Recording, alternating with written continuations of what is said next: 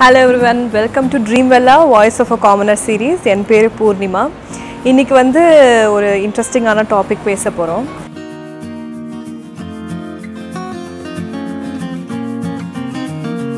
பிறக்கிறதுலேருந்து சரி நம்ம வீட்டில் எல்லாமே வந்து ஒரே மேரேஜ் ஓரியன்டாக இருக்கும் எஸ்பெஷலி ஃபார் கேர்ள்ஸ் படிப்பு சூஸ் பண்ணதா கூட நீ டாக்டர் படிக்க போறியா? அது பத்து வருஷம் ஆகுமே. நடுவில் கல்யாண பேச்சுலாம் எடுப்பாங்களே. அது வேணாம் நம்ம வேறு ஏதாவது கன்வீனியண்ட்டாக படிச்சுக்கலாம். இல்லை நம்ம ஊர் சென்னையாக இருக்குது இங்கே சென்னையில் ஏதாவது படிச்சுக்கோ.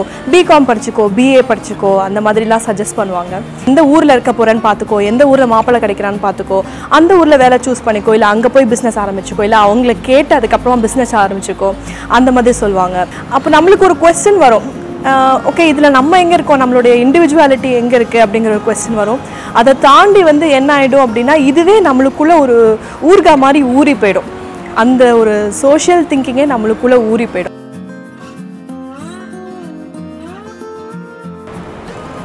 ஸோ இந்த கல்யாணத்துக்கு அப்புறம் இந்த மீ டைம் இல்லை நம்மளுக்கான ஒரு இண்டிவிஜுவாலிட்டி நம்மளுக்கான ஒரு திங்கிங் நம்மளுக்கான ஒரு டைம் ஃபேக்டர் இல்லாமலே போயிடும்.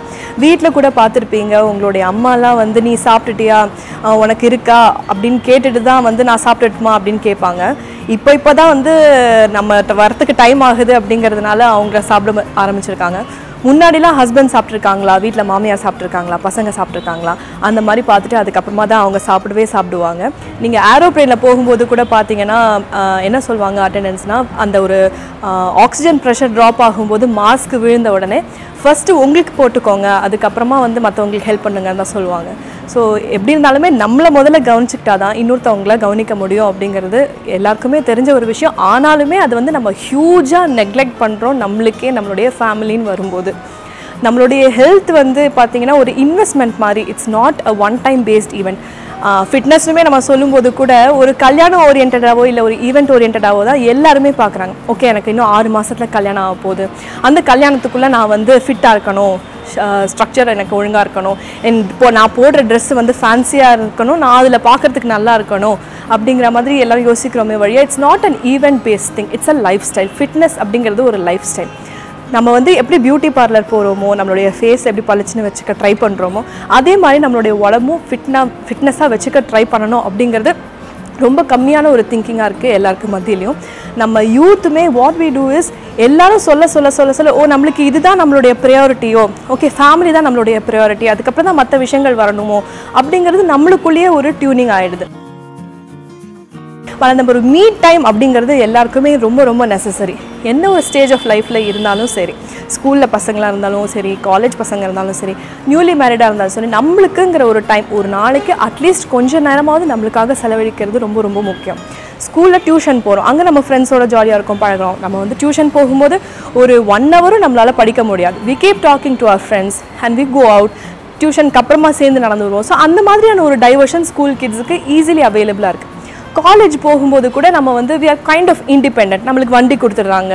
இல்லைனா வந்து நீயா போ அப்படின்னு சொல்லியிருக்காங்க. பிக்கப் ட்ராப் கிடையாது. ஸ்கூல்லனா வந்து பேரண்ட்ஸ் வெயிட் பண்ணுவாங்க பிக்கப் பண்ணுறதுக்கு ஸோ காலேஜில் அந்த ஒரு ப்ராப்ளம் கிடையாது. ஸோ திருப்பி அதே மாதிரி சேர்ந்து வரும்போதோ இல்லை காலேஜில் வந்து ஒரு நாள் கிளாஸ் கேன்சல் ஆகும் இல்லை காலேஜ் பங்க் பண்ணுற ஃப்ரீடம் கூட நம்மளுக்கு இருக்குது ஸோ இது again get together with friends நீங்கள் ஒன்று நோட்டீஸ் பண்ணி பார்த்தீங்கன்னா நம்மளுடைய ஸ்கூலில் இருக்கிற ஃப்ரெண்ட்ஸ் கேங் பெருசாக இருந்திருக்கும்.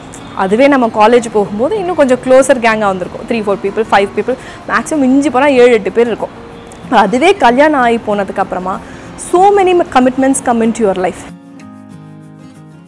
ஒரு மேரேஜ் அப்படிங்கும்போது வந்து it's a very natural thing to happen to people but why does it impose so much of unnatural restrictions on everyone isn't it so நம்ம மேரேஜ் ஆனதுக்கு அப்புறமா நம்மளுடைய ஃப்ரெண்ட்ஸோட வெளில போகலாம் அப்படின்னு நினைக்கும்போது ஓ நம்மளுடைய ஹஸ்பண்ட் கூட்டிகிட்டு போனால் அவங்க ஜெல்லாவாங்களா சைலண்ட் டைப்பாக இருந்தால் அவ்வளோதான் காலி பேசவே மாட்டாங்க ஃப்ரெண்ட்ஸோட அவங்க நம்மளை பார்க்கும்போதே நம்மளுக்கு தோணும் ஓகே அவங்களுக்கு போர் அடிக்குது நம்ம கிளம்பிடலாம். He's not having a good time so let's just leave அப்படின்னு சொல்லியிருக்கோம். அதே மாதிரி நம்ம வந்து நம்மளாக இருக்க முடியாது. ஒரு கம்ஃபர்டபுளாக அந்த ஒரு பேக்ரவுண்டில் we cannot be ourselves with our friends also ஏன்னா வீட்டுக்கு போயிட்டு நம்ம என்ன சொல்கிறோமோ அங்கே அதை பொறுத்து தே வில் ஆல்சோ ஜட்ஜஸ் இல்லையா? நம்ம என்ன ஏதாவது சொன்னோம்னு வச்சுக்கோங்களேன். ஓ இவ இந்த மாதிரி சொல்கிறாளே ஒருவேளை அவள் அந்த மாதிரி நம்மளை பற்றி நினைக்கிறாளோ அப்படிங்கிற ஒரு ஜட்மெண்ட்டும் அவங்களுக்கு வந்துருமோ அப்படிங்கிறத நம்ம நினச்சிட்ருப்போம் ஸோ அது மாதிரி ஃப்ரீயாக இருக்க முடியாது நம்மளோட ஃப்ரெண்ட்ஸோட ஃப்ரீயாக இருக்கிறத விடுங்க. ரெண்டு பேருடைய டைமிங் மேட்ச் ஆகிறதே பெரிய விஷயம். ஏன்னா ஒருத்தவங்களுடைய ஹஸ்பண்ட் வந்து ஆஃபீஸ்லேருந்து லேட்டாக வருவாங்க. ஒருத்தவங்களுடைய ஹஸ்பண்ட் வந்து ஆஃபீஸ்லேருந்து சீக்கிரம் வந்துடலாம் இப்போ எப்படி இருந்தாலும் ஒரு மேரேஜ் அப்படிங்கிறது வந்து ஒரு பார்ட்னர்ஷிப் மாதிரி. போத் ஹேவ் ஈக்குவல் ரெஸ்பான்சிபிலிட்டிஸ் இப்போ நிறைய பசங்க வந்து ஹெல்ப் பண்ணாலுமே we have that guilt why because of the social tuning இத்தனை நாள் வரைக்கும் சொல்லி சொல்லி வளர்த்துருக்காங்க இல்லையா கல்யாணத்தில். அட்ஜஸ்ட் பண்ணணும். நீ வந்து படிக்கும்போது என்ன எங்கே இருக்க போகிறேன்னு பார்த்துக்கோ. வேலைக்கு போகிறேன்னா என்ன பண்ண போகிறேன்னு பார்த்துக்கோ. அந்த மாதிரி சொல்லி சொல்லி வளர்க்கும்போது நம்மளுக்கு வந்து we have we women naturally have more responsibility and நம்ம என்ன நினைக்கிறோம் அப்படின்னா ஓகே நம்ம தான் வந்து இந்த ரிலேஷன்ஷிப்பை அடாப்ட் பண்ணி கொண்டு போகணும். நம்ம தான் நம்ம வீட்டை விட்டு வெளில வந்திருக்கோம். நம்ம தான் இங்கே அட்ஜஸ்ட் பண்ணணும்.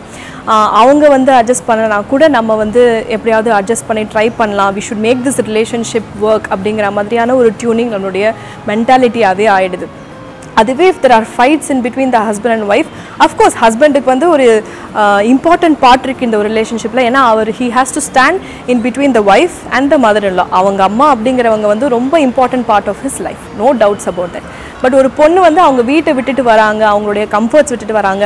அவங்க சிங்கிள் சைல்டாக இருந்தால் அதை விட அவங்க ரொம்ப பேம்பர்டாக இருந்திருப்பாங்க வீட்டில் அவங்களுக்குன்னு ஒரு ரூம் அவங்களுக்குன்னு ஒரு ஷாம்பு அவங்களுக்குன்னு ஒரு கோம் எத்தனையோ விஷயங்கள் அவங்களுக்காக அவங்க வீட்டில் பண்ணியிருந்திருப்பாங்க. உங்கள் வீட்டில் எப்படி உங்களுக்காக பண்ணியிருந்திருக்காங்களோ அந்த மாதிரி அவங்க வீட்டில் அவங்களுக்காக நிறையவே பண்ணியிருந்திருப்பாங்க. ஸோ அவங்க இங்கே வரும்போது it is his responsibility to stand in between wife and அம்மா and try to make that situation okay but என்ன ஆகிடும் அப்படின்னு பார்த்தீங்கன்னா அவங்களால ஒரு லெவலுக்கு மேலே அட்ஜஸ்ட் பண்ண முடியாது. அப்போ நம்ம என்ன நினைப்போம்? ஓகே நம்ம வந்து இந்த சுச்சுவேஷனில் அடாப்ட் பண்ணிக்கலாம் அப்படிங்கிறது நினைப்போம்.